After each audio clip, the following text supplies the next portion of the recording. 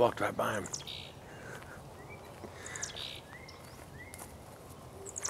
Come here, look in the camera. What you got? Oh, female downy woodpecker. She's about to go out of view. Oh yeah. you walked like two feet away from this bird, and it hit on the other side of the branch while you were walking by. Ah.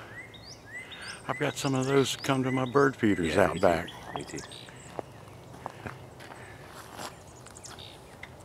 In fact, last year there was uh, one of these dead trees laying on the ground was still upright. And uh, there was a downy nest in one of them. Yesterday. Huh. So I'm Is that, recording. is that a compliment? yeah, it's just nerdy. Oh, okay. It's like, well, once you get older, man, those things become more important.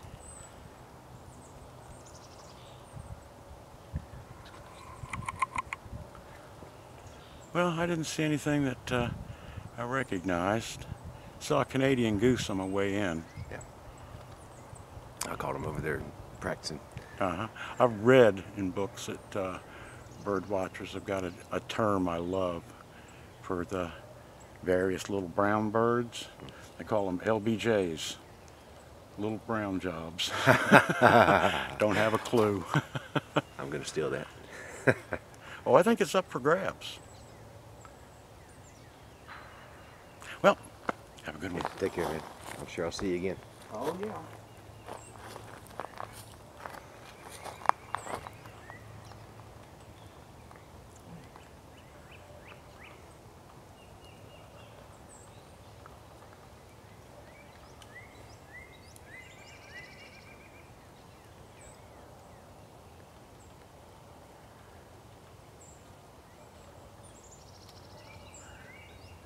I don't know if this bird's to get too far picking on that vine.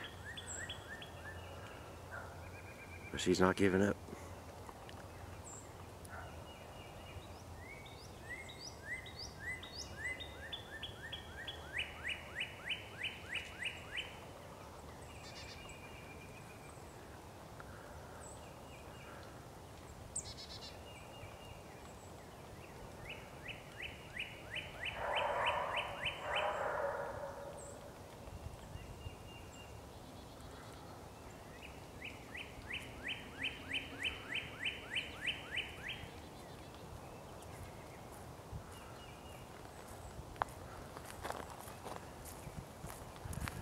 Watching a little, little downy woodpecker over here. Been working on this vine for about 20 minutes. Oh wow, that's really awesome. Yeah. And uh, she hadn't figured out yet that it's a vine, and no matter how much you peck on it, you ain't gonna get anything out of it. so she won't give up. That's so good. That's awesome.